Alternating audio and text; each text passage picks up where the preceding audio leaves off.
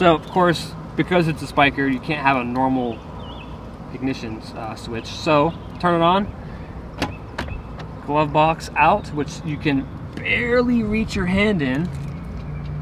Um, if you got bigger hands, I don't know what to tell you. Twist that to the right, power turns on. This little ignition switch right here, flip it up, clutch in,